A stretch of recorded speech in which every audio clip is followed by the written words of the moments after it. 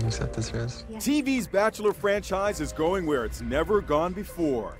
It's now casting a spin off series with seniors looking for love. I'm into a dating show for over 65. I like I'm that. down for all of it. That's good. All of it. Why? it.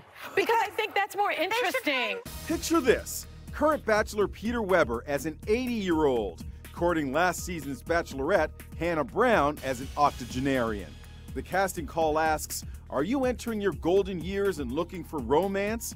This senior citizen has already signed up. I said, The Bachelor's really going to do this? I couldn't believe it. Here's Barbara Rose Brooker in her 20s.